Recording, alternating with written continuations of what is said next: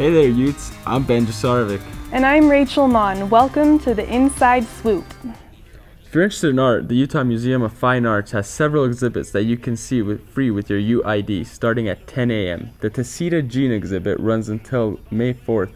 The Savage poem Around Me by Alfred Lambourne gallery will be shown through June 15th.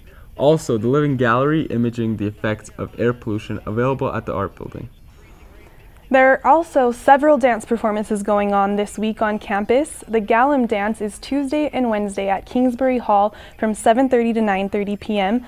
Odyssey Dance will be performing Dance Fever on Wednesday at 7.30 and Thursday at 2 p.m. at Kingsbury Hall. Tickets are 20 to $40. They will also be performing Romeo and Juliet on Tuesday and Friday at 7.30.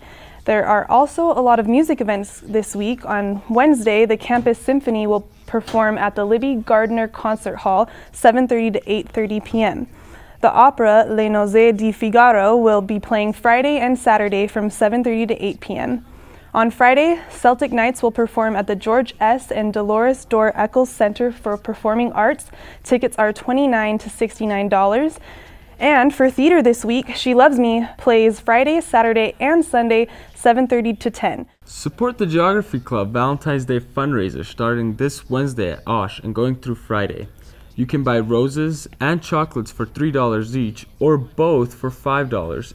In other campus events, beach volleyball Olympic gold medalist Misty May-Treanor will be speaking at the Union Ballroom on Wednesday night. All university students can get two free tickets at the Union front desk.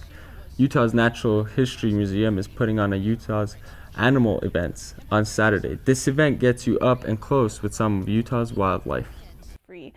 In Salt Lake City, there are some events you can attend. On Monday, the Harlem Globetrotters 2014 tour is at the Energy Solutions Arena.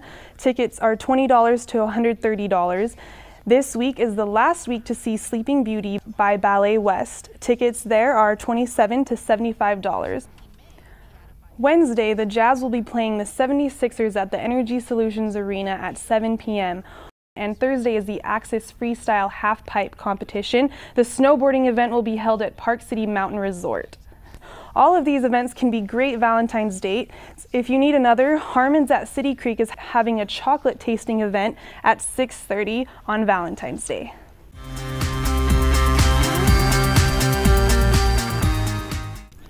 Men's basketball went 2 0 over the weekend, beating the two Washington schools by a combined 27 points. This Thursday, the Utes travel to Southern California to face USC, and then Saturday, the Utes play UCLA.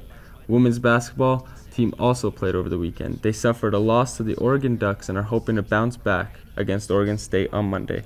And our fourth ranked Red Rocks took on 13th ranked Arizona and got the win, posting their highest score of the season, a 197.825 and congratulations to Coach Greg Marsden on becoming the first collegiate gymnastics coach to a thousand career wins. The opening ceremonies for the Winter Olympics were on Friday. There are several Utes that will be competing in downhill alpine skiing, watch Steven Nyman. For the biathlon, watch Annelies Cooks. And for the cross-country skiers to look for are Brian Gregg and Torin Koos.